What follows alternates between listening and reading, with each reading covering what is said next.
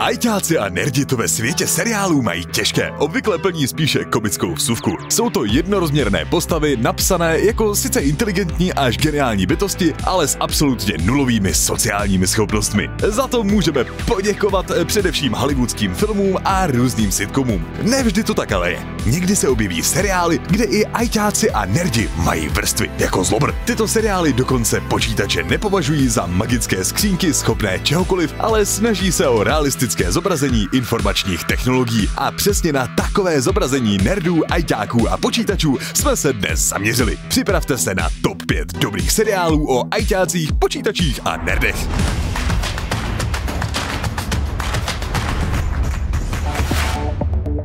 Páté místo Chuck. Začneme odlehčeně. Ještě než se Zachary Levi stal superhrdinem ve filmu Shazam, jmenoval se Chuck. Byl obyčejný nerd a opravoval telefony a počítače v obchodě s elektronikou. To až do momentu, kdy otevřel mail od bývalého kamaráda a teď agenta CIA. Ten mu do hlavy nahraje citlivá data a informace ze CIA a NASA za pomoci subliminálních odkazů a obrázků. Chuck se tak stává živoucí a jedinou databází těchto informací a je nucen spolupracovat s vládou. Problém je, že Chuck si tyto informace informace nedokáže vybavit na povel, což vede k různým problémům. Po jeho boku stojí agentka CIA Sarah, kterou hrála nádherná Ivon Strahovsky a major John Casey, kterého hrál Adam Baldwin. Oba se musí na oko stát čakovými kolegy v práci, aby na něj dávali pozor. Seriál měl pozitivní recenze, ale trpěl nízkou sledovaností. Před zrušením ho ale několikrát zachránili samotní fanoušci a tak se dožil hezkých pěti sérií.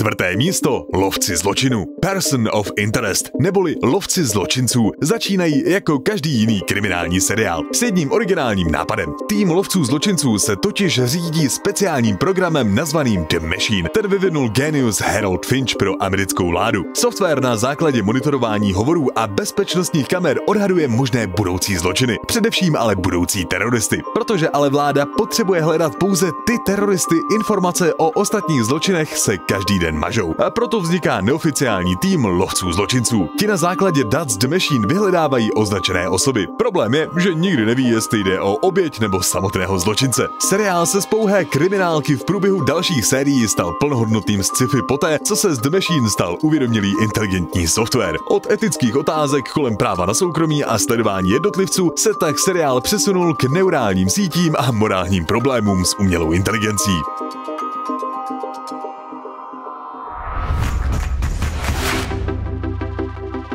Třetí místo Silicon Valley. Americká Silicon Valley je dnes již známým označením místa, kde vznikla většina moderního softwaru a hardwaru. Apple, PayPal, Kahoo, Electronic Arts, Google, Hewlett Packard, Nvidia, Intel a mnoho dalších IT firm začínalo právě zde. A přesně o takové firmě, nebo spíše o vývojářském týmu, je seriál Silicon Valley. Nejen o náročném vývoji v průlomové aplikace, ale především o firmní kultuře ve velkém korporátu, zvláštnostech a podivnostech startupů, ale i některých základních zákulisních praktikách a náročných mezilidských vztazích lidí ve vývojářských týmech. O tom všem byl tento seriál. Tvůrce Mike Judge vycházel z vlastních zkušeností z práce v podobném startupu ve svých mladých letech. Navíc měl pomoc členů firmy MadeSafe, kteří se svého času pokoušeli vytvořit software podobný tomu ze seriálu. I proto patří Silicon Valley mezi ty nejlepší seriály o ajťácích a počítačích. Silicon Valley věděli, že moderní technologie se neustále vylepšuje a porozumět jí někdy už není vůbec jednoduché. Pokud byste se chtěli stát správci počítačových sítí, tvořit weby nebo se naučit programovat, tak přesně pro vás je soukromá střední škola výpočetní techniky. 9.2. se koná Den otevřených dveří. Bohužel kvůli stávající situaci proběhne pouze online od 15 do 19.30 v doprovodu live chatu a videí. Více podrobností v odkazu pod videem. Hello, IT? Have you tried turning it off and on again?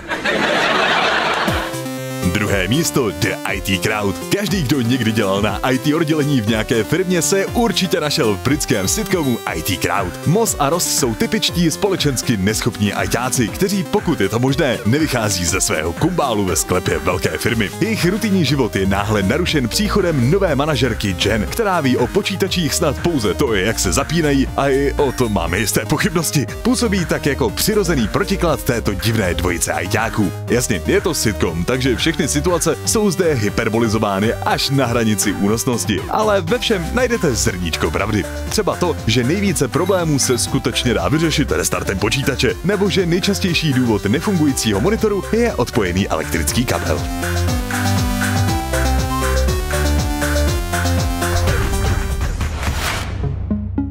První místo Mr. Robot. Asi nejlepší IT seriál všech dob je rozhodně Mr. Robot. Ten sleduje geniálního hackera Eliota Aldersna, který trpí několika psychickými poruchami, včetně chronické deprese, disociativní poruchy osobnosti a sociální fobie. Herec Rami Malek, jenž se mezičasem stal třeba hlavním záporákem v poslední Bondovce, aktivně spolupracoval s psychiatry a psychologi, aby co nejvěrněji stvárnil tuto složitou osobnost. Seriál si především vystoužil chválu mezi bezpečnostními experty a ajťáky za své věrné zobrazení hekování a různých kybernetických útoků. A to není nic divného, protože za nimi stál celý tým bezpečnostních expertů a analytiků, kteří všechny hekovací praktiky nejdříve vyzkoušeli ve skutečnosti a následně je co nejvěrněji přenesli do samotného seriálu. Pokud máte rádi počítače a pořád jste seriál Mr. Robot neviděli, měli byste to co nejdříve napravit.